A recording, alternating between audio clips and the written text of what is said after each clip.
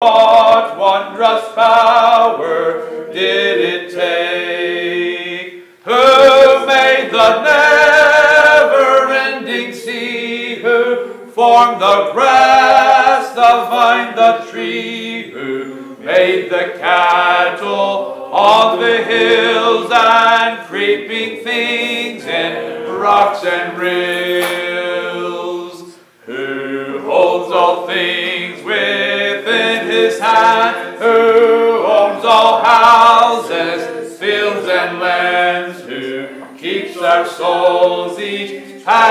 Hour?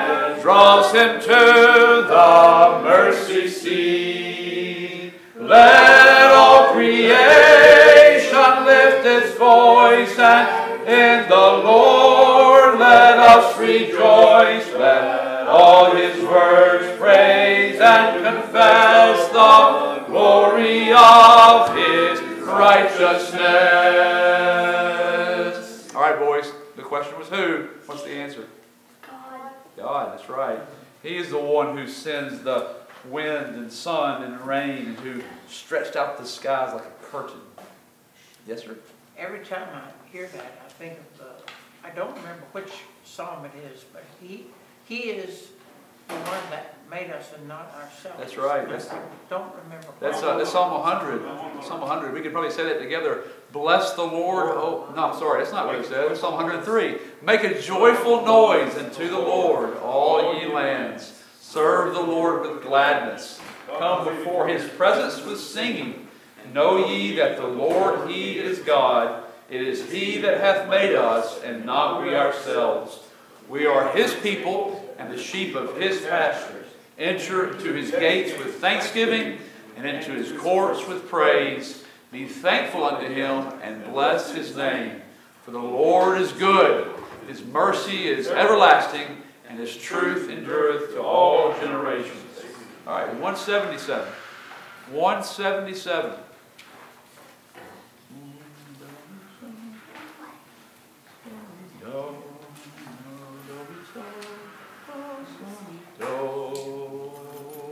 This is my Father's world, and to my listening ears, all nature sings, and round me rings the music of the spheres. This is my Father's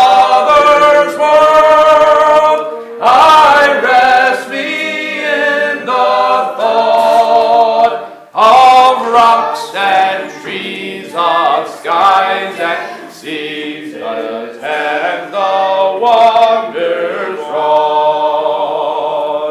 This is my Father's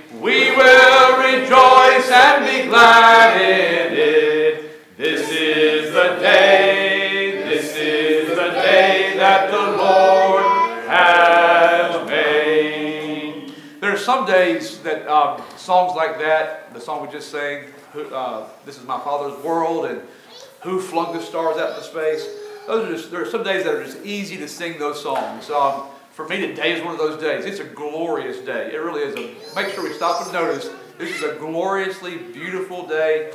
It feels beautiful. It feels it feels comfortable, right?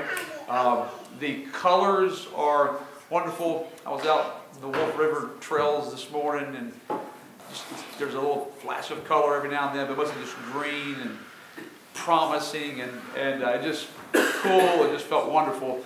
Um,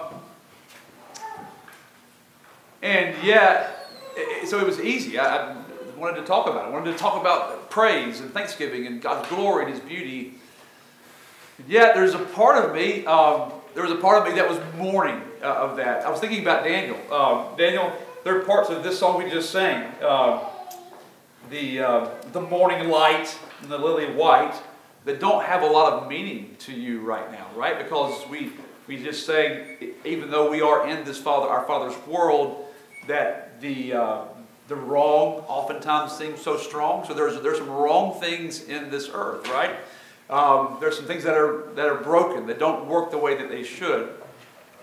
May I add that uh, as true as it is that some parts are uh, like unto Greek to me right now, it does tell me what shall be. That's exactly right. And that's where I'm headed with this, right? So in, in our Father's world right now, there's a lot of attention on tomorrow from about noon to 3, right? That time period where there's going to be an eclipse. You know what an eclipse is, right? What happens in an eclipse is that the sun gets blocked, and I don't know all the, the movements, how this happens, but the sun gets blocked by the moon for a certain period of time. So in the middle of the day, it's going to be dark. Isn't that, isn't that something? And so uh, the Son, the Bible likens the Son of God, Jesus Christ, to the natural sun.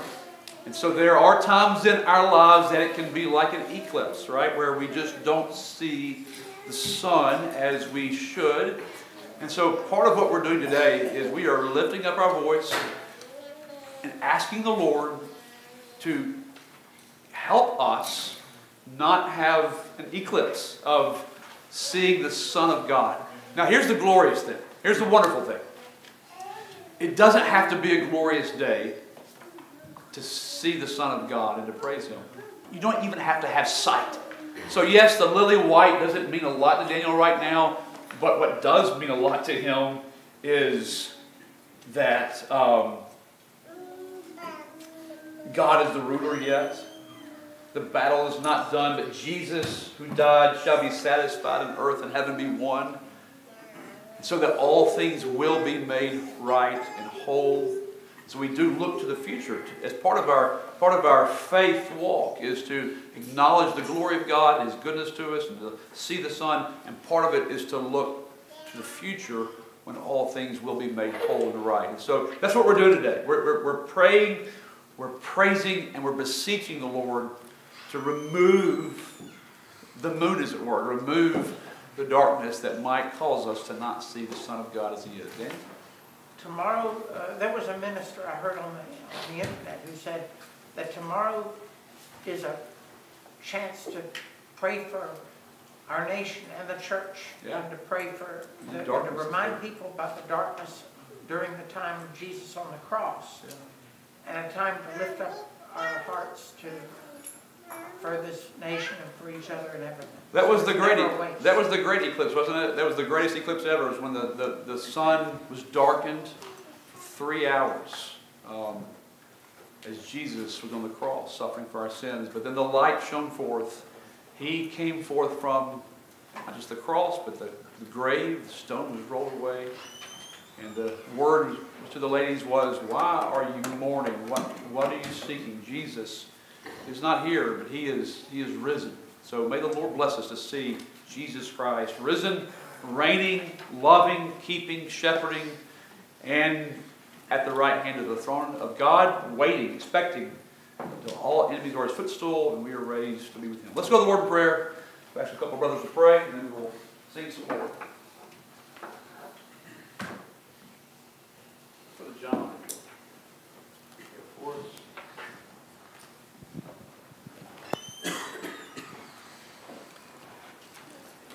Heavenly Father, Lord, we uh, desire this morning to worship you as you are the only one worthy of worship.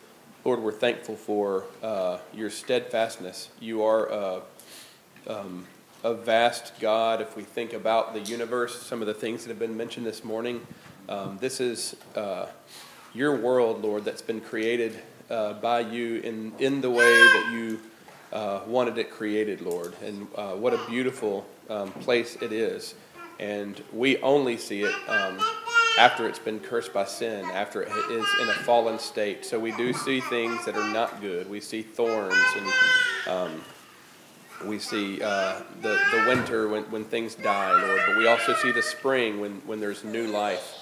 And we see the colors and the beauty and, and all that is in it, Lord. We see the rain that, that uh, falls and, and helps to replenish the earth and, and make it bright again we see so many things reflected uh, that reflect your glory um, in, in this world that you have created, Lord. And what an amazing thing it is. What an amazing creator you are.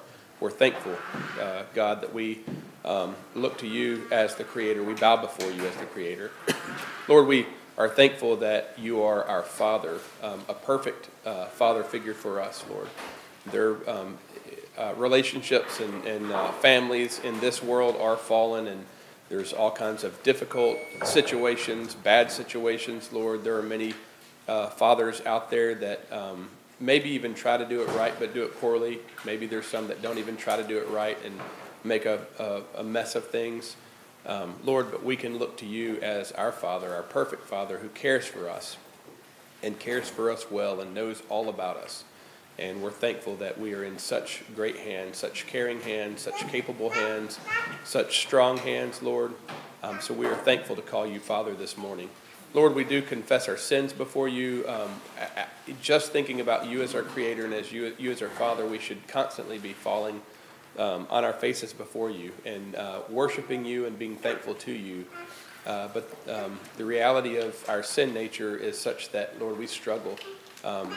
To do what is right. So, Lord, we, we confess our sins before you this morning and, and say, Lord, um, remember us in mercy and uh, remember us for, Je- for Jesus' sake. And Lord, we pray this morning that we can um, uh, cast aside the, the things, the weights that beset us, and that we can draw nigh to you, that we can give you the worship that you deserve, Lord, and that we can. Um, can grow in you. Lord, we do desire growth. We desire spiritual growth where we draw closer to you as we know more about you and as our relationship with you grows. Lord, I pray that you would bless us to be faithful to um, put in the work on, on the relationship. Help us to put in the reading of the word and the, the uh, memorization and study of the word and meditating of the word and the prayer um, and the, um, keeping ourselves busy in the kingdom uh, among the body, Lord, looking out for one another. All the different things that you have modeled and that you have told us in the scriptures, Lord, we pray that you bless us to desire to be faithful uh, to those ends. Lord, I do pray for our time this morning. Um, we are thankful that you have set um, up the church um, and you uh, feed us on a regular basis. You give us the things that we need, and you do that through um, regular old uh, sinful men that are called to a higher calling, Lord. So we pray this morning as we uh, pray, as we sing, um, as we hear the word preached, that uh, your name would be magnified and that we would be fed um, that wonderful spiritual food, Lord, that we need, and that we would be able to give you glory. We pray these things in Jesus' name. Amen.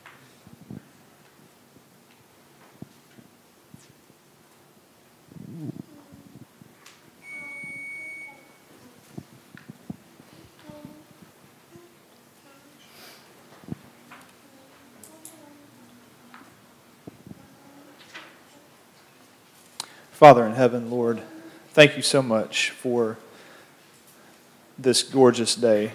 Lord, thank you so much for the beauty of it. Lord, we are reminded that you are our sovereign, awesome creator. You spoke this world into existence. Lord, um, that, God, we're just reminded when we see creation, Lord, that, that you are alive and well that you are on your throne. Lord, we're also reminded when we see the, the blooms on the trees and the plants, we're reminded of new life, reminded of the resurrection. And Lord, that's why we come and gather Sunday after Sunday after Sunday, because the tomb is empty. Christ is risen from the dead, Lord. Thank you so much that there is truly victory in Jesus Christ. So Lord, bless us as we worship today. Bless us to worship with, with uh, joy. Uh, bless us to worship in victory through Christ. Lord, I pray that you would bless us as we sing, to sing with, uh, with sincerity of heart, with worshipful hearts, Lord. Bless us as we would listen to the word preached to us. God, I pray that where you know exactly what we need. If we need reproof, rebuke, exhortation, um, encouragement, Lord, I pray that you would bless us to receive your word, that your, your word would be effectual in our lives and our hearts, God. I pray that you would um, bless us to apply your word to our lives. And Lord, I pray that we would all leave this place looking a little more like Jesus, that we would be more conformed to the image of Jesus Christ. It's in His name I pray. Amen.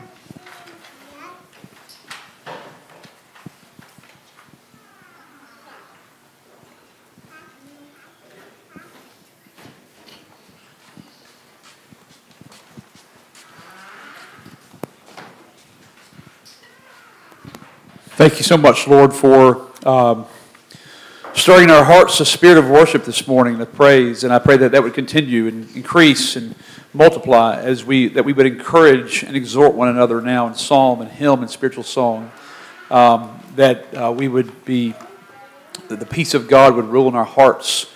We remember we, we have been called together in one body we might be thankful. Um, and father i pray that we might grow today in grace and in knowledge of our lord jesus christ. And may your name be exalted. And father i pray that you would um, you would pull away whatever seeks to eclipse our view of Jesus this morning. In his name we pray and say, Amen. All right, get your Bibles out turn to Romans chapter 5. Romans chapter 5, I want us to say, um, I want us to just to uh, speak verse 8 together aloud. Romans 5, verse 8. I'll give you a minute to turn there. 5, verse 8. All right. Romans 5, 8. Let's say it together. But God commendeth his love toward us, in that, while we were yet sinners, Christ died for us. Praise the Lord. Bless the Lord, O my soul, and all that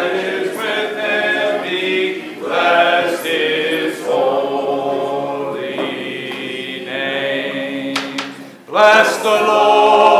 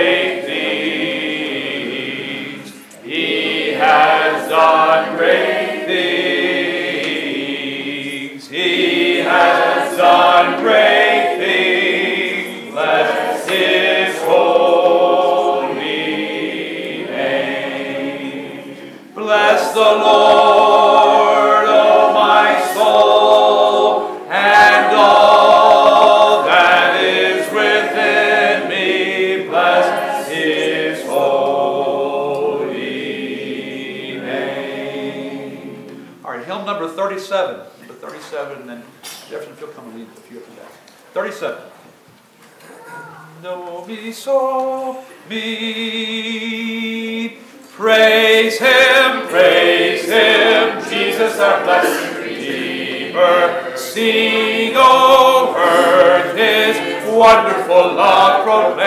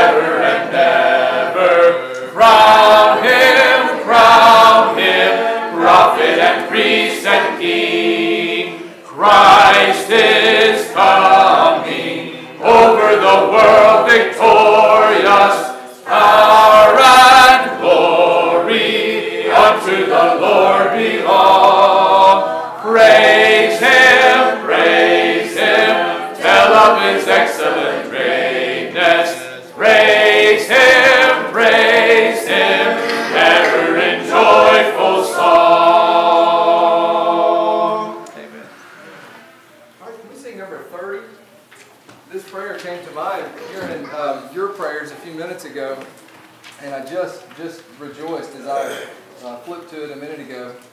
Um, I think sometimes whenever we just think about praising the Lord, like in that last song, I don't know if you've ever had this experience where you're looking at something that you know is glorious, but you're just not able to appreciate it. And sometimes just one thought or one bit of wisdom can just open it up, and it becomes a glorious thing, a glorious whatever it is, a poem or something. It's just it's just a poem until something clicks, and all of a sudden it becomes transcendent and it changes you. And so that's what this song's praying for. It's Lord, we know we need you because we know you're worthy of praise. So we're, we're here to praise you because you're worthy of praise. But please, please help us. Please open up. Show us. Show us. Help us to to uh, to do it. So this this is my prayer this morning.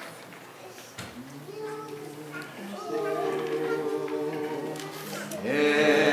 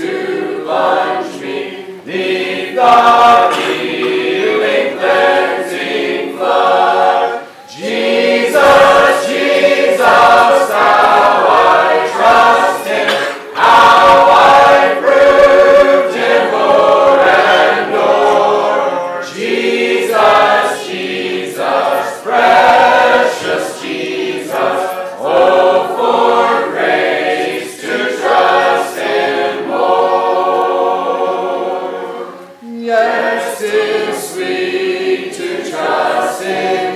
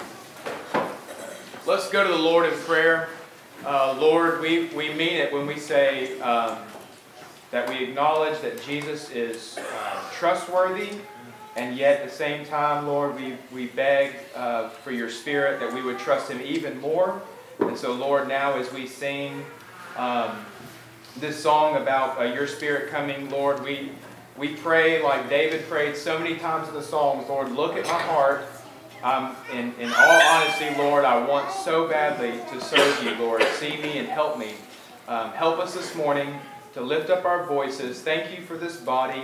Thank you for these brothers and sisters, Lord. Would you um, weave us together in fellowship as we worship you? In Jesus' name we pray. Amen. As pants the heart for cooling streams.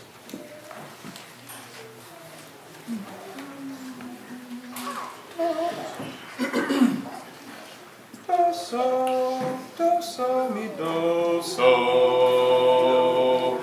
As hands the heart for cooling streams.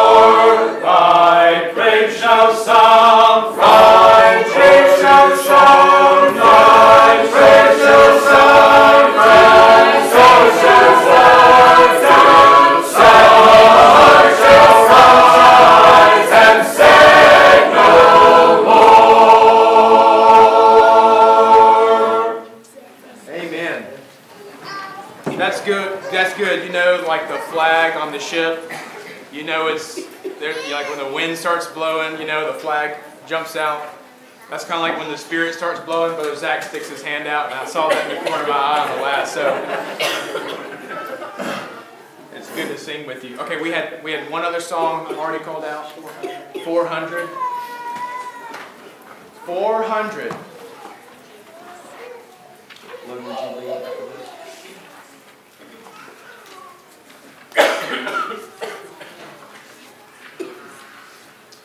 400.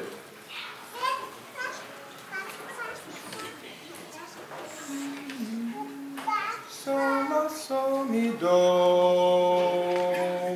So let our lips.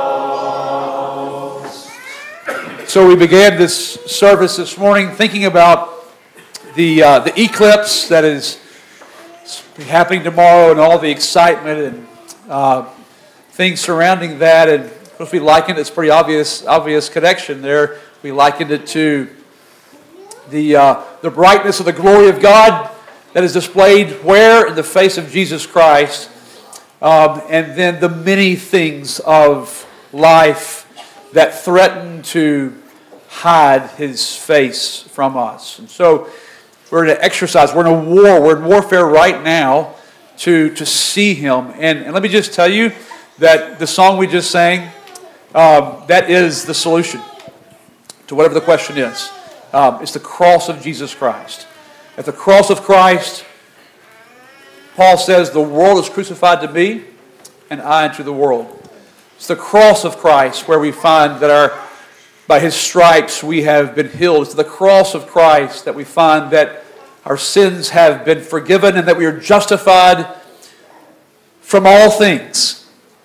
He was cursed for us, that the curse might be removed from us. So the cross is the answer, and yet, um, you know your own heart, or you, you know what you know of your own heart, and you know if the smile of his face is hidden from you because of resentment or doubts or fears or temptation or guilt or a thousand other things. Let me just tell you again the cross is the answer. And so we need desperately to see the Lord Jesus Christ. That song talks about the threat of his the cross being hidden from us. And so um, I'm going to uh, let, us do It Is Well With My Soul. As our last hymn, Brother Zach's going to preach for us today. Let's be praying for him. Let's stand and sing um, it is well with my soul, and then he will preach for us. You be praying for him. Let's stand and sing 174. 174.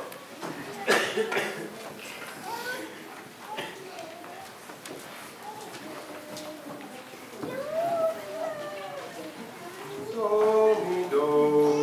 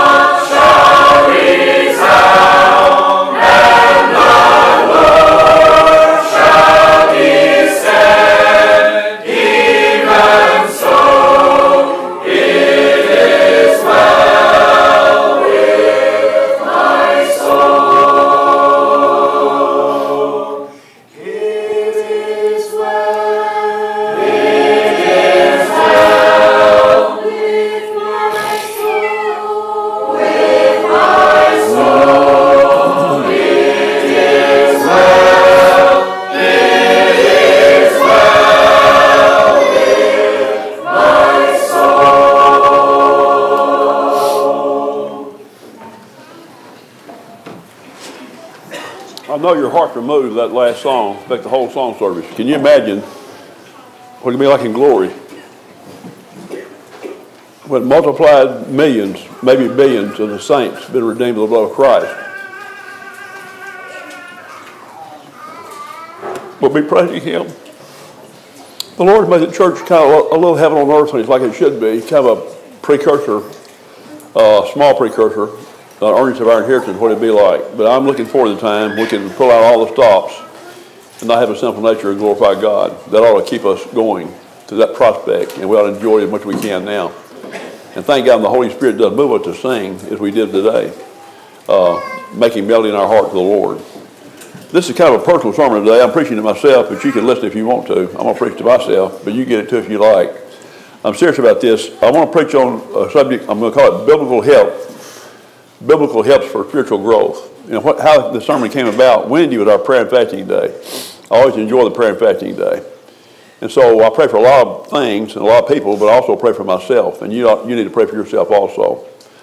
So I asked the Lord to speak to me and show me about some ways I could draw closer to Him and become a better Christian. And He gave me quite a few scriptures, so that's the ones I want to share today. So none of these I'll be able to do justice to because each one of them could take a whole sermon, but I want to hit the highlights. And my prayer is that you'll be helped by this and some, you, everybody gets something, take something home. So my text is over in 2 Peter 3.18. But grow in grace and in the knowledge of our Lord and Savior Jesus Christ. To him be glory both now and forever. Amen. We need to be growing in grace. Let me ask you a question. Are you growing in grace? Are you, are you doing better, you think, in your growth than you were maybe a few months ago or maybe a year ago? We all want to grow. And we all, and we can grow. And we need to, that to encourage us. We can grow. And that's a command of God. That's the imperative mood. He to grow in grace and in the knowledge of our Lord and Savior Jesus Christ. And that knowledge, there's not just a head knowledge, it's, a, it's experimental knowledge. Be close to the Lord. He's a person. We, we fellowship with Him. So I want you to grow, I want to grow in grace and knowledge of the Lord and Savior Jesus Christ. And every age group here is affected. I'm going to read to you those. We got some old folks here probably. I'm one of them, I reckon. So I want to encourage all the old people here. Sometimes old folks think they're over the hill, and they start. They think they can coast, but don't ever coast. What you need to do is head for the finish line and sprint out at the end. I used to really enjoy going to the marathon before they had that Boston thing that happened when they had to have more security. And when they had the marathon here in Memphis, I would always get near the goal. I was always thrilled to see how people came around that corner. Uh, they were just exhausted, some of them just stumbling and just worn plumb out.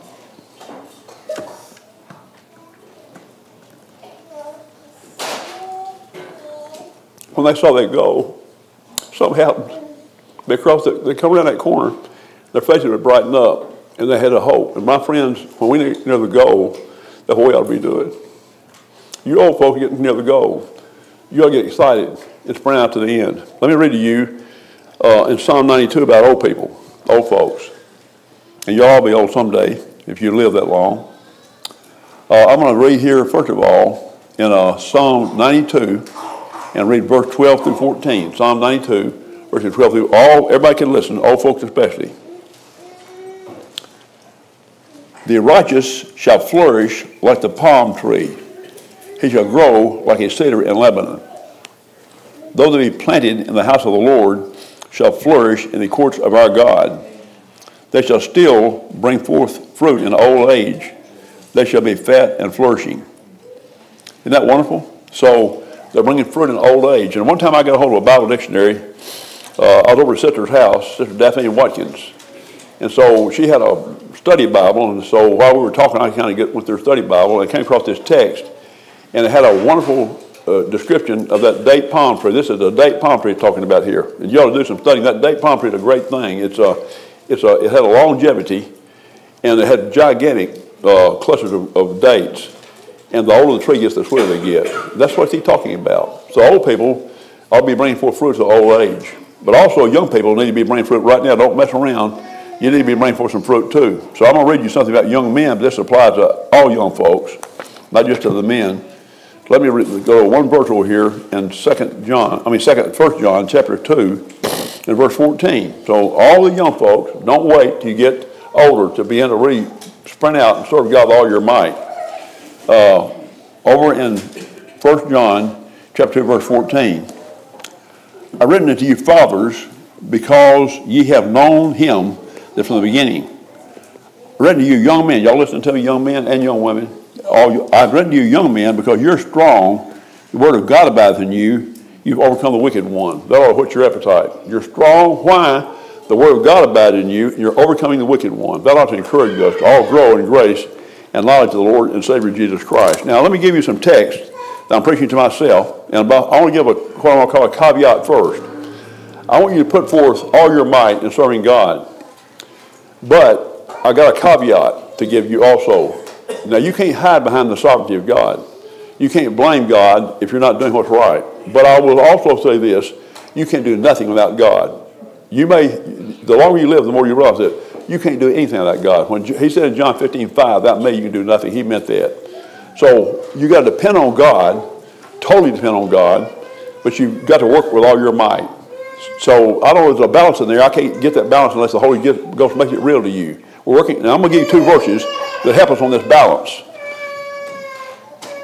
Okay, 1 Corinthians 15, 10. This is the balance. Now, you're working as hard as you can work, but you're giving God all the glory. I mean, all the glory. You can't do anything. You can't lift a finger without God.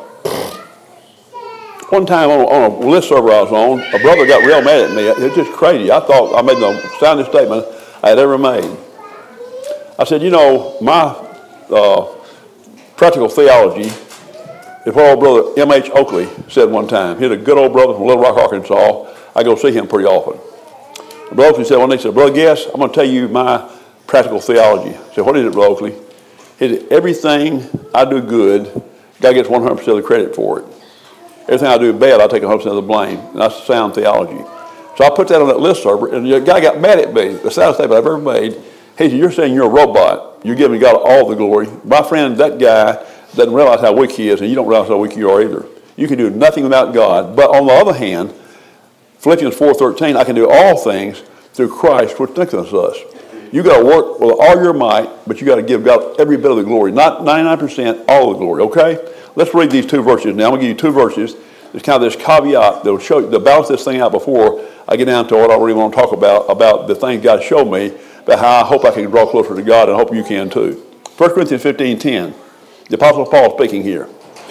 But by the grace of God, I am what I am. We could all say that. We could all say amen to that. By the grace of God, I am what I am. And his grace, which was bestowed upon me, was not in vain. I labored more abundantly than they all. Yet not I, the grace of God, which was with me. Isn't that a great balance? Only the Holy Ghost could write something like that. I labor more, I work harder than all of them. He wasn't bragging a bit. He just stating facts. But then he gave the source of that energy he had, the source of your energy. If you have the energy to serve God, he gets all the glory. All right, now let's go to another one over in Philippians chapter 2, verses 12 and 13. This also is this balance. Philippians 12, 2, 12 and 13. Wherefore, my beloved, as you have always obeyed, not as in my presence only, but now much more in my absence. Now get this, work out your own salvation with fear and trembling. That's pretty important. You know, we can just read that real fast. Work out your own salvation with fear and trembling. We need to fear God. It's serious business serving God. We live in a very casual age. We live in a secular age, an irreligious age. The whole world just about is there. The United States is getting increasingly secular. It's, it's terrible. People don't fear God. Friend, you need to fear. It's, it's serious business serving God. It's life and death serving God. I, I hope the Holy Ghost will make that real to me and you both. It's life. It's not. You're not just casually serving God. You can't casually serve God. There's no such thing as a true Christian being a casual Christian. That, that doesn't exist. That doesn't exist.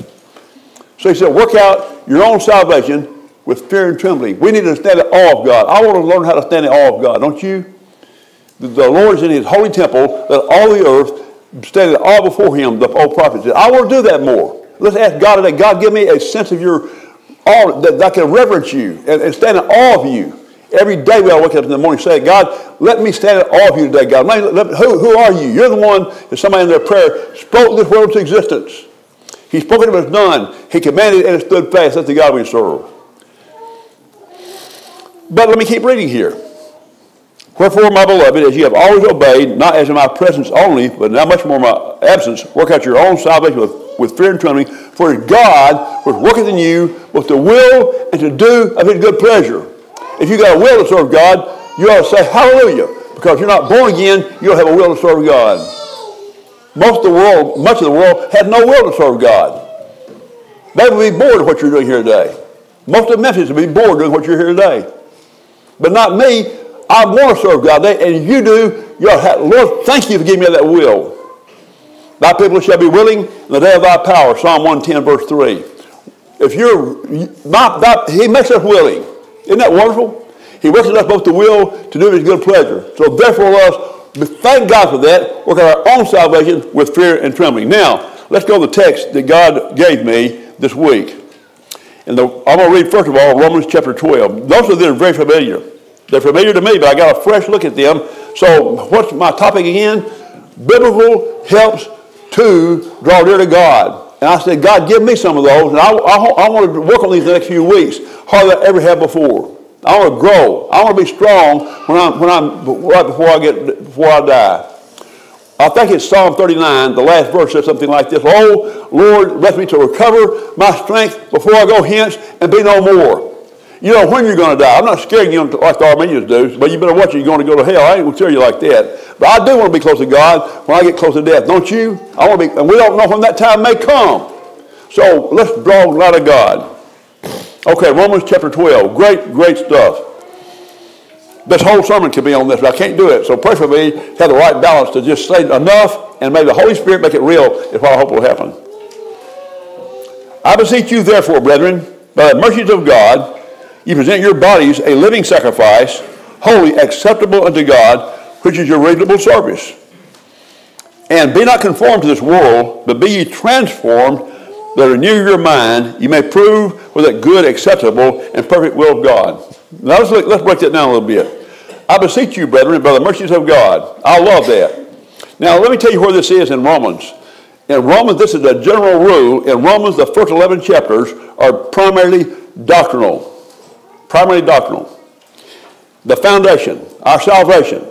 Then he starts in chapter 12, verse 1, and the rest of Romans basically is practical. We draw practical strength from the doctrinal foundation. And I'll read you. Now, Paul got excited about the doctrine. So let me tell you the context real. Let's go to Romans 11 now. To read a few verses, just a few verses. Paul's exciting. I beseech you, brethren, by the mercies of God. Now, look. Here, Paul is not saying, you better be careful or you'll go to hell. He's not saying that. He's not even really saying, if you don't behave yourself, God will chastise you. That is true. And someplace he, he said that. Someplace he did say, if you don't behave yourself, then you can become a castaway and you're going to be in bad shape. But he's not saying that here. He's doing something on a higher ground than that. I beseech you, and he's not commanding them. He's not getting, he's not getting tough with them. He's begging them. I hope did you hear begging in my voice this day, every one of you.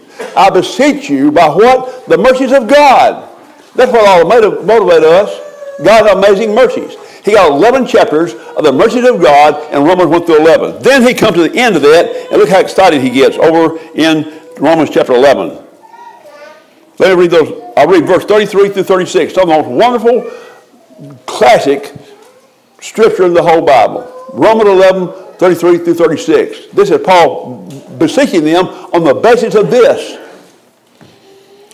Romans 11, 33 36.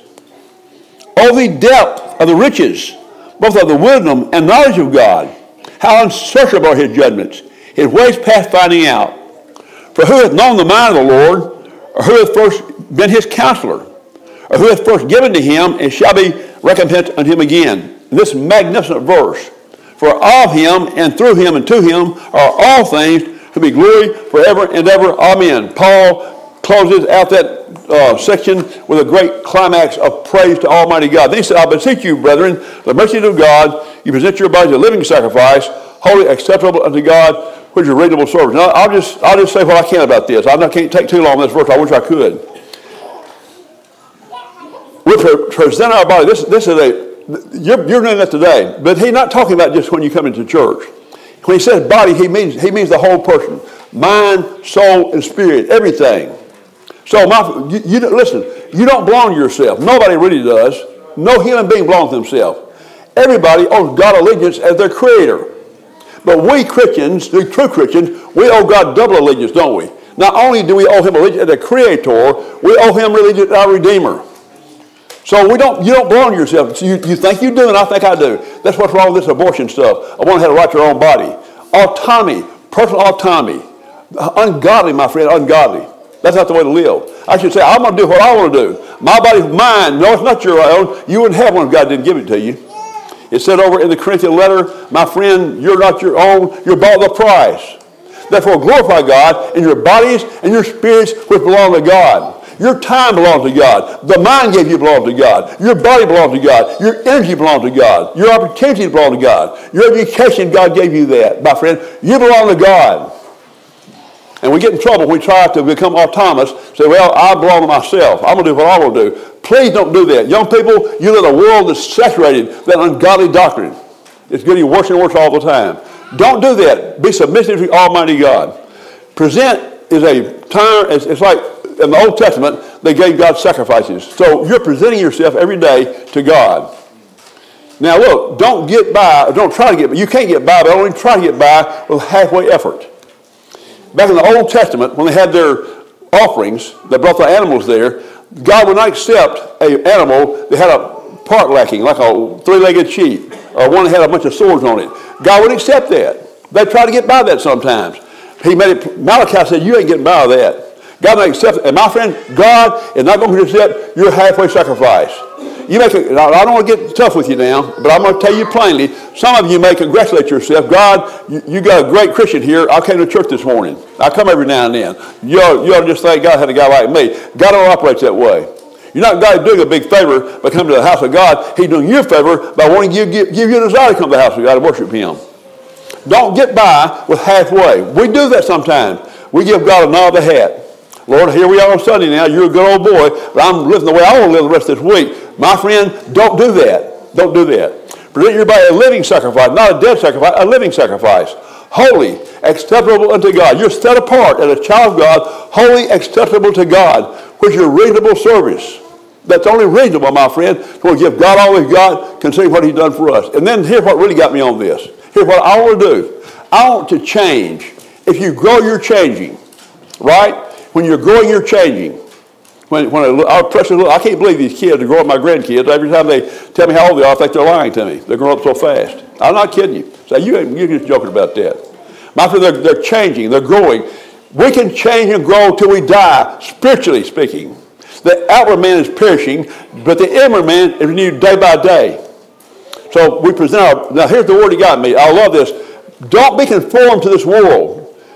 That word, world's age. Don't be conformed to this age.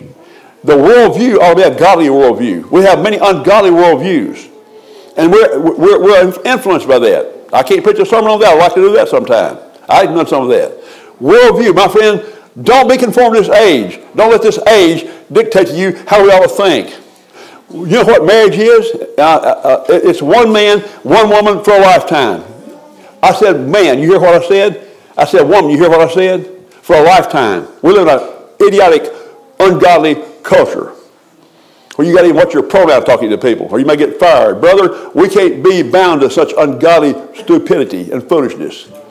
Listen, there's some things are right and some things are wrong. That's just the way it goes. And the Bible's always right and we're almost always wrong. So don't be conformed to this world, but what, oh, this is the word that really got me on this. Oh, I love it. Be transformed.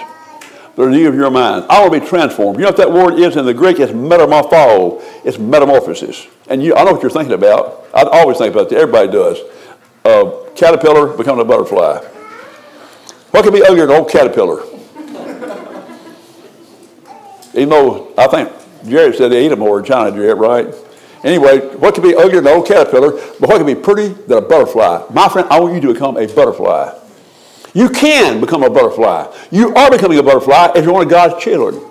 One of the prayers today was, God conform us to the image of your son. And he, been, that he predestinated to be conformed to your son. And that's happening in right now. You might realize it. Some of the troubles you have, God brings those your way to get your mind off this world and win you away from this world. If you just had a soft life with no trouble, you'd go down the drain. I would too. You're so carnal and you're a lower man. God gives us bumps in the road to wake us up. So sometimes we get sick, sometimes we get hurt, something like that. I'm not saying God's of sin, He's not, but brother, God Almighty knows how to chastise the people getting close to Him. So I want to be transformed. Keep that in your mind. I want to be so much that my dear Judy can say, you know, Zach is growing. That's the real test right there. She's the one that lives with me. Y'all be praying for her. She's the one that lives with me. But I need to listen, and you need to do the same thing You're home. My friend, listen, those disciples were willing to die for Jesus Christ. Those men who have been in intimate contact with him for three and a half years. They knew him inside and out. They knew him privately and publicly. They're willing to die for him. We need to live in such a way in our homes, my friend, that my, my wife said, yeah, Zachy is growing. That's what I want to do anyway. Be transformed, renew your mind, may put and then renew your mind. Here again, every word is important. You renew your mind by the Word of God. You got me in God's Word. How's your Bible reading habits been this week? How is your memorizing been doing this week? Somebody mentioned that even.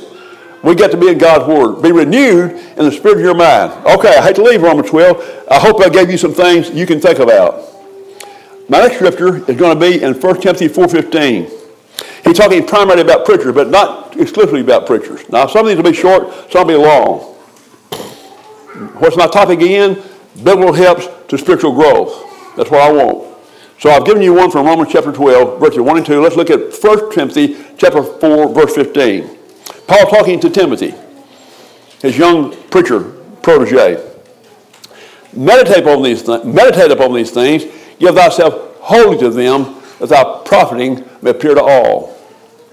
Or you're meditating on this thing, and then he goes on to say, Take heed to thyself to the doctrine, continue then in doing this, thou shalt both save thyself and them that hear thee. Now look at it, folks. Meditate upon these things. What does the word meditate mean? It means to ponder, think deeply, consider.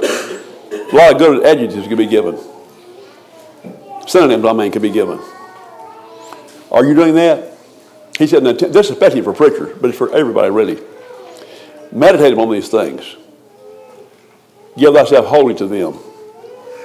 Now, I'm glad Grace Chapel has, has turned our hands loose that I don't have to work secular work. Thank God for that. I thank you for it. We can give ourselves to the Word of God. Some men can't do it. They got to do the best they can, and they're great men. Meditate. But I want you to meditate on these things. Don't just give the Bible a lick and a promise. Meditate. Give thyself hope. The why the prophet may appear at all. If you see me grow, it's going to encourage you. If I see you grow, it's going to encourage me. You can't, you can't, y'all, sometimes y'all hear Judy and me talk. I'll be thrilled. Hey, Judy, guess what? So-and-so's growing. And we just grin like a mule eating briars. Man, we're so happy about that. I believe this individual's growing. I believe I'll see signs of growth. Listen, if we all church members are growing, we'll encourage each other. In your families. My daddy's getting to be a more godly man. My mama's getting to be a more godly woman. Even the kids are getting more godly. And we church members are learning how to serve each other, love each other, not be selfish at all. All kind of things. We need to be living in such a way, and we will not do it unless we're meditating on the Word of God, giving ourselves wholly to it. Then we will, my friend, we, our, our growth will be apparent to each other.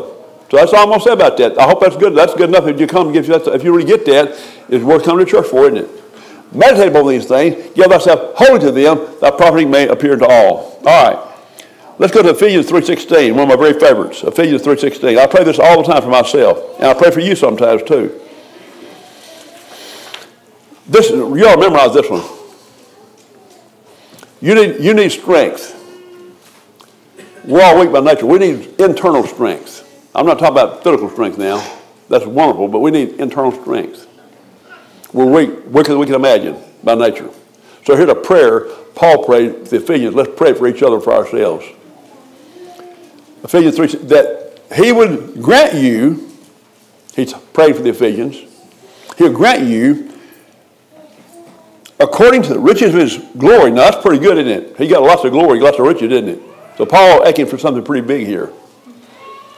He will grant you according to the riches of his glory to be strengthened with might by his spirit in the inner man. That's what you need it. I need that in the inner man.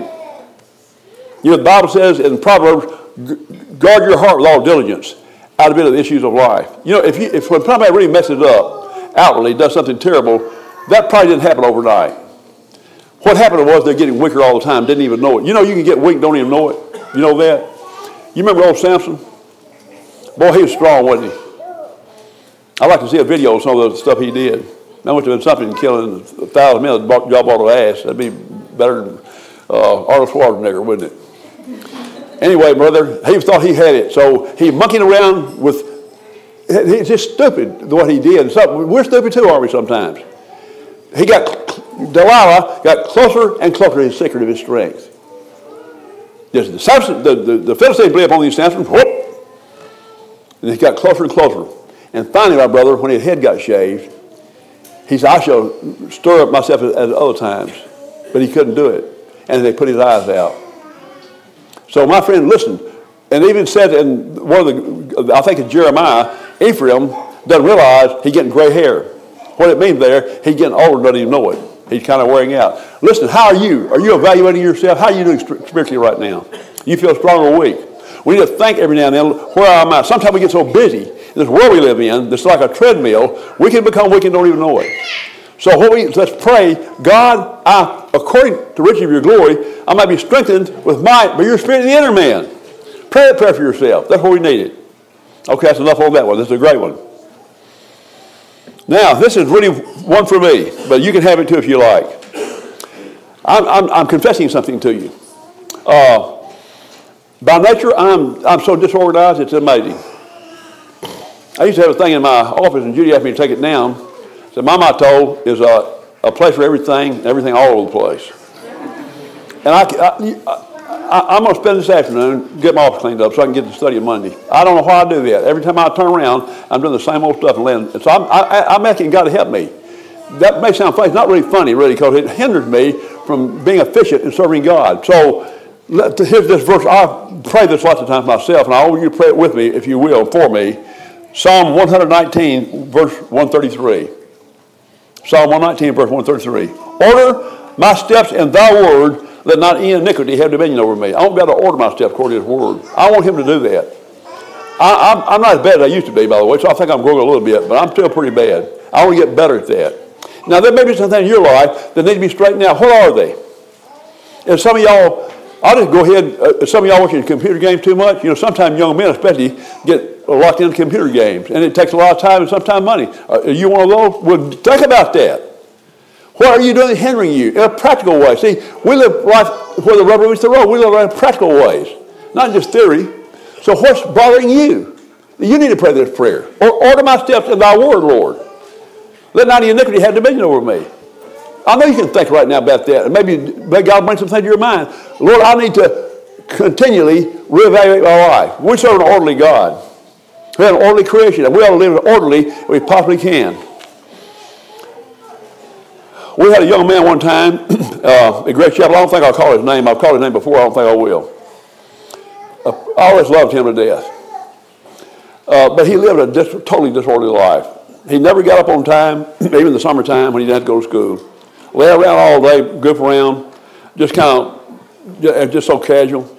His life wound up in chaos, in absolute chaos. I don't know where he is today. Uh, he finally got smoking pot, got messed up. But, the, the, but when I watched him, I watched him deteriorate as his life not ordered. You know, I heard a, a, a Navy admiral not long ago speak. Man, he looked good too. Had a uniform on, all his medals and stuff. He looked, he looked sharp. He was a good-looking old guy. Real, and so he was giving a lecture down in Annapolis. And he, and he talked to these midshipmen. He said, listen, the first thing you do every morning when you get up is make that bed up. He, I mean that. He said, real important to make that bed up. So am I stepping on anybody's feet? I don't stepping on my feet. I used to not do it, but I'm doing good there. Yes, Judy. I'm getting pretty good at that.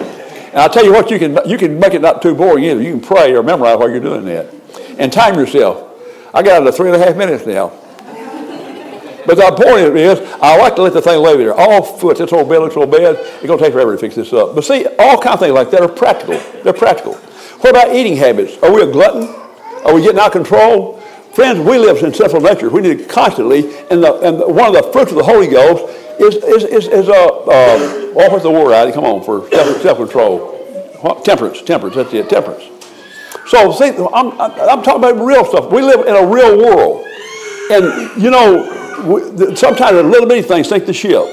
A bunch of little holes sink the ship. We need to evaluate our lives and live as best as we possibly can. So that verse again, over in Psalm 119, 133, Order my steps in thy word, let not iniquity have dominion over me. Now, another one for me. I mean, this is one of my, I've prayed this a thousand times, more than that.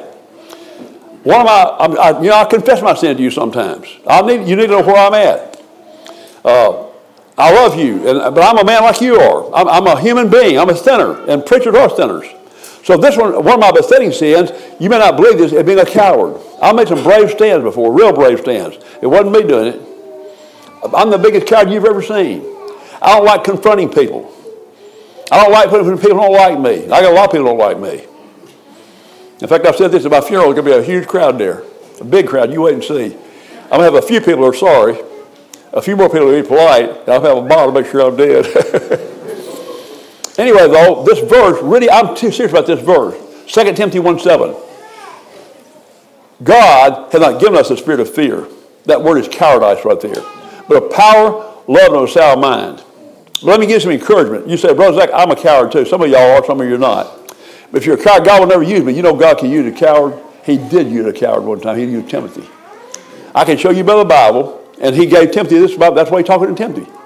Because he knew Timothy had that tendency. But you know what Timothy had? An unfeigned faith. So he was Paul's favorite young preacher. You think, how could that be? Paul was a big, brave man. I mean, he was got all kind of courage, man. He wasn't afraid of anything. And this coward here, he still used him. You better believe he did. You know why? His heart was right with God. If your heart's right with God, you can overcome anything. I want to encourage you. You say, I just don't, I've got a weak personality. Uh, I, I just can't do what other people do. You can too. You may be amazed, brother. Sometimes people who try to go their own strength, they fail like Peter did, you know. Peter failed when he went in his own strength. But brother, when you're depending on God, even a coward can be used of Almighty God. So I want to encourage you. God's not given us a spirit of fear, power, love, and a sound mind. Now, I'm going down to James chapter 1, verse 5 through 7. I need wisdom. I really need a lot of wisdom about a lot of things. I need spiritual wisdom. I need natural. I need all kind of wisdom. I need to be a right kind of daddy, a granddaddy, husband, associate pastor, all kind of stuff. I need wisdom. I want to make, sometimes decisions are hard to make. I don't know what to do sometimes. I don't know what to do. So an encouragement right here. So God gave me this the other day on my prayer fasting. James chapter 1, verse 5 through 7. If any of you lack wisdom, let him ask of God to give it to all men liberally and upbraideth not. I love that. He gives it, he, he doesn't say he gives, he's not stingy. He'll give you a bunch of wisdom. And he won't upbraid you. He won't say, well, you should have come to me first, earlier. No, he won't say that. So he's easy to come to. Sometimes we're not easy to come to. Somebody says, I told you so, or somebody, you should have come to me sooner. He, he doesn't operate that way. If any of you lack wisdom, let him ask of God, give to all men liberally, and upbraideth not. But let's keep going. Let him act in faith, nothing wavering. He that wavereth is like a wind of the sea, driven with the wind and tossed. Let not that man think he ever see anything of the Lord. A double-minded man is unstable in all his ways. Get in there and say, God, I want to really believe this. I know to give me what you said you would. You may take you a little bit to work that up there, but God can work that faith up. Don't say, well, oh, he, I asked for wisdom, but I don't really mean it. He ain't going to give me any. Don't talk that way. If you are that way at first, work through that. Get that. Say, God, help me to have strength to really pray like I'll be praying. Help me to pray the prayer of faith, Lord. See, let me, let's quote that again. If any of you lack wisdom, let him ask of all, ask of God. Give it to all men liberally, and upbraideth not. Let him act in faith, nothing wavering. He that wavereth is like a wave of the sea, driven with the wind and tossed. Let not that man think he, he shall receive anything of the Lord. A double-minded man is unstable all of it. Don't be double-minded. See, God need, go again and again. If he doesn't give it to you first, go to him again. Don't quit. Don't quit. Do it again. Lord, I prayed. I still know what to do. Keep on praying. In his own good time, he'll show you what to do. I love Stephen Blood, the pastor up at uh, Mount Carmel in uh, Baltimore. And he told me, he said, Brother Zach, he's been a great pastor, by the way. He's a great pastor. Brother Zach, sometimes I have problems at church. I don't have a clue what to do. I don't know what to do. So I just pray, and sometimes God works it out. And my friend God can work things out sometimes. We think we got the solution. Sometimes we do. Sometimes God works it out for us. I've seen God do that. I've seen just God. I need some win I need so help. He'll either do, he'll either show you what to do, or he'll do it for you, brother. We got a great God. We can trust our God. All right. Now, I've got uh, two more to go. I'll be through. One of these, they're all magnificent. To me, they're magnificent. They help me. I hope they'll help you. Look over in Proverbs chapter 3, verse 5 through 7. You know this one very well. I know you do. Trust in the Lord with all thine heart. You know, you've heard me say a lot of times, lots of times, great job. I probably said this more than anything else I've ever said. This is probably one phrase I've probably said more than anything else in my ministry. God never said understand me. God said trust me. There's a lot Bible about trusting God. I want to learn how to trust Him more. There's a lot of things that happen in your life, you don't know why they happened.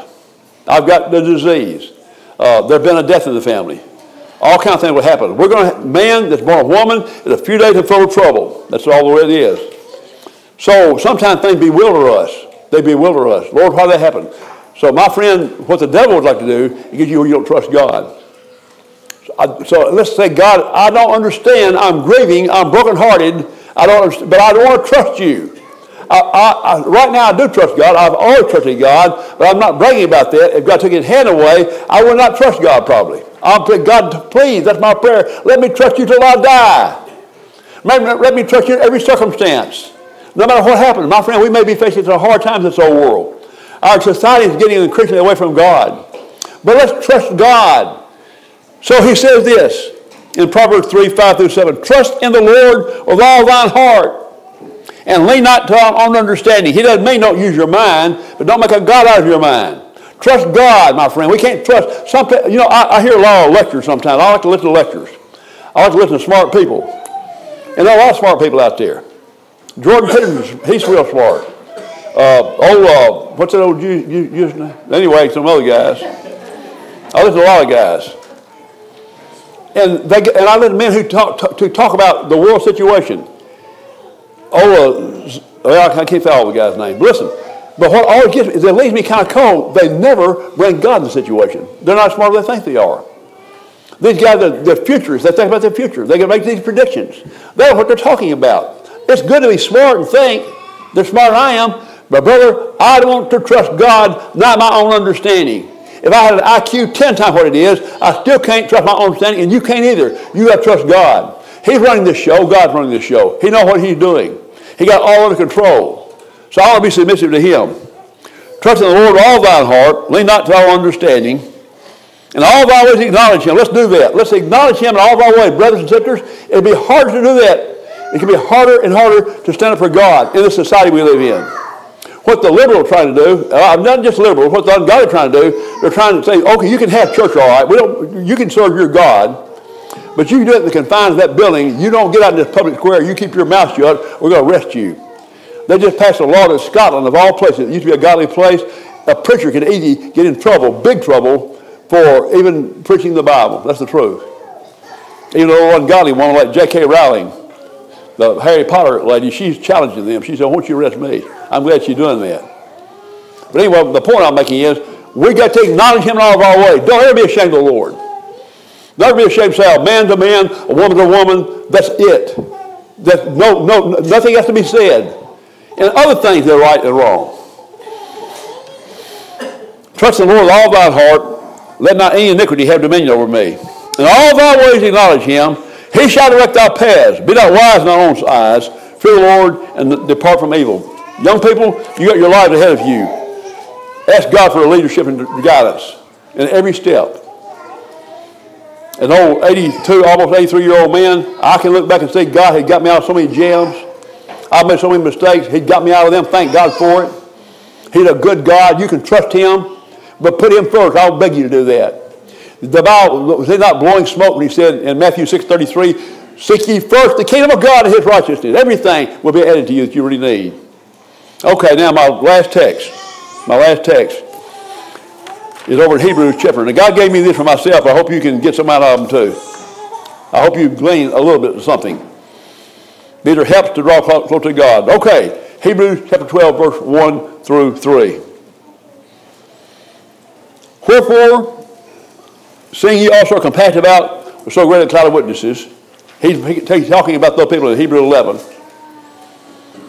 And you know, I'm glad he said that, aren't you? Because we get the feeling sometimes like we're the Lone Ranger. The devil wants to isolate you and me. You're not isolated. There's nothing that you've gone through that a bunch of human beings have not gone through before and overcome. That's right. Before I keep reading, I want to quote you 1 Corinthians 10 13. There's no temptation taking you, but this is common to man. Get that? No testing has taken you but such a common demand. But God is faithful, who will not suffer you to be tempted above that you're able. Will with the temptation also make a way to escape. You may be able to bear it. So you're not the lone ranger. Don't let the devil isolate you. And reach out to other people. And, and, and, and God and account, must account for their safety. You're not by yourself. I'm glad we have individuals in Hebrews 11 who went through some tough times and came out because they pleased God, they had faith, and you got faith too if you're born again. Wherefore, seeing we also are compacted with great, so great a cloud of witnesses, let, lay aside every weight. John prayed this this morning, and this made me, hit in the heart I'm going to preach about, so I said, thank you, Lord, that's an indication I'm probably on the right track. What's, this is something that's not necessarily a maybe known sin. What's Henry? You said, well, I've already confessed one to you. Well, my weight is being so disorganized. That's a weight, a real weight. Sometimes I get out of control of my eating and I gain too much and I don't feel good. I don't have the energy. That's a weight. That's a weight. That's just some examples. Less, less every weight. And the sin which will easily beset you. See, there are besetting sins. Some things that wouldn't even bother me bother you, and vice versa. So you know what really bothering you. Take an inventory. Let's lay aside every weight, the sin which does so easily beset us, let us run with patience. That word patient means endurance. We're in this for the long haul. This is a marathon. This is not a sprint. It's not a sprint. It's a lifetime race. You won't be able to quit this race till you cross the finish line. So get ready for it. Let's get that mindset. We're in this, my friends, the long haul. He puts his head in the plow, looks back, Christ said, not fit the kingdom of God. We're in this, if you make a commitment to serve God, you can't take that back. Like you, if you marry somebody, make the, don't, you can't take that back. You, you promised till death do you part. You got to make it. You're a church member. You made vows to God in the church covenant. You just you got to fulfill those vows. You're in the long haul. Running a race is always fun. we need a second win and third win sometimes. We think we can't make it sometimes. Then we will make it by God's grace. He'll give us added strength. Wherefore, seeing we also are compassed about with so great a cloud of witnesses, let's lay aside every weight, the sin which does so easily beset us. Let's run with patience the race that's set before us. Now, here's the key. Here's how we do it. Looking unto Jesus, the author and finisher of our faith, who for the joy that was set before him endured the cross, despising the shame, is set down at the right hand of God. Jesus Christ is at the finish line. What kept Christ going is going to keep you going. The joy set before him. His joy was the complete salvation of all his children. What your joy? You're going to heaven. You're a stranger and a pilgrim. That's the, isn't that the bottom line? My friend, that's what keeps us going. I'm heading for I'm a pilgrim. This, is, um, this world that I increasingly dislike is not my home. It's not yours either. I want you to enjoy it. God has given us richly all things to enjoy. We're not to live a morbid life, but we ought to live a joyful life as much as we possibly can. Even in marriage, rejoice with the wife of thy youth, all kinds of things about, about rejoicing. So enjoy that. But brother, what keeps me going is I'm heading for glory one of these days. Okay, I hope I've helped you some. May God bless you. These are things that help us, I hope, grow closer to our great God.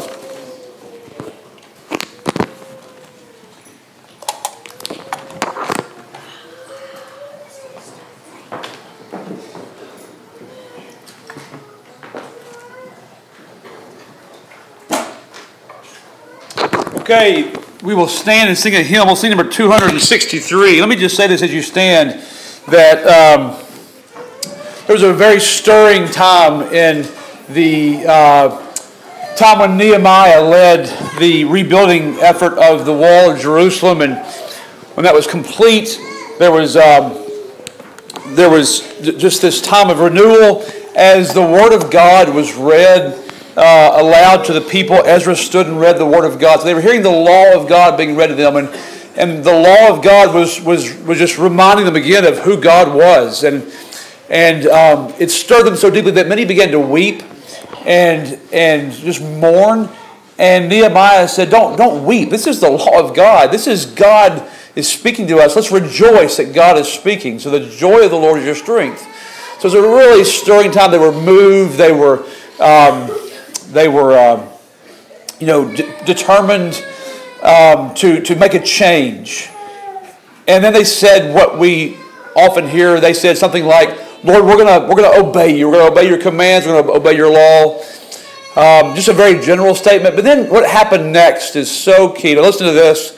You may have been stirred this morning. I want to grow. Maybe just the maybe just maybe just the, the scene today. So a scene of a brother Zach turns 83 on April the 18th. So this month turned 83. So a scene of someone at 83 saying, I want to change, I want to grow. Maybe that is, hopefully, that just that scene is, is, uh, is moving to you, is inspiring to you. But the point of it is this, is that you can't just leave it in generalities. Um, so what happened after they heard the law and they said, we're going to obey you, Lord, they started to say some specific things they were going to do. They made some specific commitments. We're going to not do this, and we're going to try to start doing this. So let me just say that to you, I hope your soul is stirred. If it's not, you need to spend some time in prayer this afternoon for your soul not being stirred. You need to be serious about changing, about growth, if you're a child of God. Because the reality is this 1 John 3 says that everybody that has this hope in them changes. Everybody does. So if you're not changing, it may be indicative that there's not the hope that is set before you that is a reality in your heart. Okay? So, if you're not stirred, you need to pray. You need to seek Christ.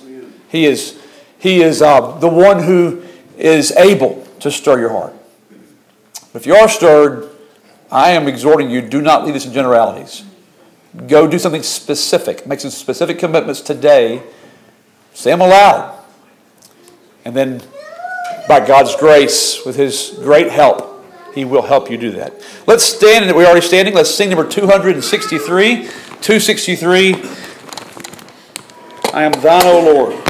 I am thine, O Lord. I have heard thy voice. To me. To rise in the arms of faith closer thee. Draw me nearer, nearer, blessed Lord, to the cross where thou hast died. Draw me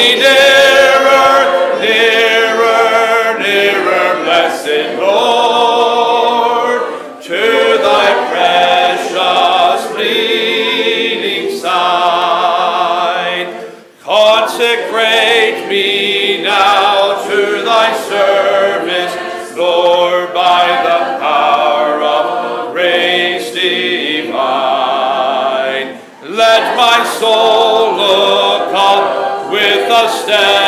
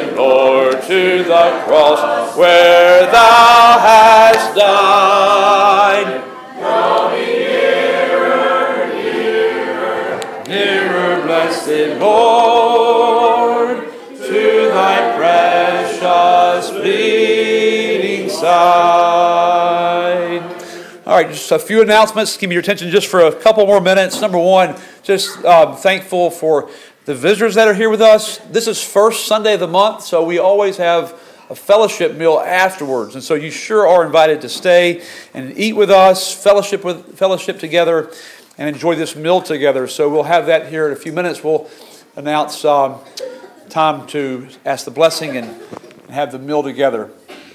All right, so it's a little crowded today, um, and we're missing quite a few people. So this is this is uh, this is a blessing. We had the pre-construction meeting on Friday for our new sanctuary, and the meeting went very well. Um, it, the contractors just I thought meshed very well together and respected one another and asked great questions and gave great answers. And so I'm really uh, thankful that we're getting off on the right foot. Um, that's not your question. Your question is when. so um, I don't know the answer to that for sure. But if things go well, then it's likely that we will be breaking ground around the end of May, 1st of June, which would be really exciting. Okay? So be praying to that end. That's what it looks like.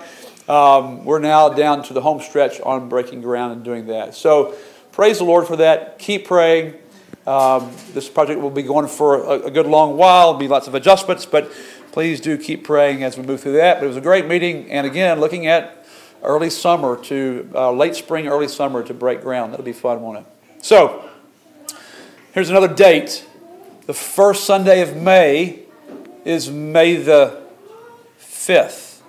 First Sunday of May. We're going to have a special service that day. We will meet um, because we will meet at 8.30 for our service that day. We will meet outside, so we'll bring lawn chairs. And the purpose of that meeting is twofold. Number one, we will um, we will acknowledge and give thanks to the Lord for His goodness to us when we had to meet outside for months in 2020 um, during the whole COVID thing. And so we're going to just remember the Lord's goodness. We're going to say that back to the Lord, and we're going to sing and rejoice together over that. When we finish that, we will then move to the site for the new sanctuary, and there will be some um, those little construction marker flags and there will be some Sharpies. So be thinking about this, and you will um, write down your prayer for the future, okay? And we'll stick those flags in the ground, and we as a congregation will pray a prayer over the, uh, the breaking ground and the beginning of this, of this new thing. So be thinking about what prayer that you want to write down and stick there in the ground, and those flags will stay there until the ground is moved, okay? So that's going to be a great day on both ways. Looking back and then looking forward uh, we're looking to the one who is, who is good and kind and faithful to us and has proven that through many generations. All right, a few more dates. I said the wrong date Wednesday night. I'll be with a small crowds I didn't do too much damage. Uh, there's going to be a tool storm for Carson. The right date was sent in the email that Susan, Susan sent. It is April 16th, um, and there's an address there. That's the address of Carson's best man, John David Moore. Um, so that's the Tuesday, the 16th of April, the tool storm for Carson, and uh, we look forward to that. The church we're praying for is Radnor Church in Nashville, the pastor Shannon Whip. Um, and um, then uh, we have the father and older siblings, I think, of older, the oldest sibling of Bonnie Clementine Hamilton, born on Friday. So we praise the Lord for that. And the little girl in the Hamilton family, again, and we're thrilled for y'all. And I'm sure there's the beginnings of a list for taking food. Um, and what food do you take to a chef? I don't know. Um, uh, so I'll be praying for you, for you ladies. You labor over that. Maybe Chef Boyardee is the best thing. he says whatever. All right. Um, the last thing I have is, is Sister Judy will be leaving tomorrow. Uh, she's going to Spain for a couple of weeks, so be praying for her and her travels. And then the week after that, Brother Zach leaving for Nicaragua. We'll be praying for them as they're on different parts of the, of, of the, of the, of the, uh, the globe. Anything else? Yes, ma'am. Uh, this, uh, Tuesday is the regular time for the ladies' prayer meeting, and Priscilla is going to, I'm sorry, Sister who? Priscilla Priscilla, okay. to open her home Okay. at one o'clock for any ladies that will come. So 1 p.m. this Tuesday, ladies' prayer meeting at Sister Priscilla's house. Ty. Uh, Sister Sarah, my wife Sarah, uh, she'll be starting a new job tomorrow. So it's a huge answer to prayers. Uh, so her five or six years at FedEx will be coming to an end. She'll be starting a Ticketmaster tomorrow. So um, just for the record, I don't know what kind of discounts or tickets yet, but we'll try to keep you posted. Counting on it. And then be in prayer also. Sister Laurie has a visit with the surgeon. Is that tomorrow or Tuesday?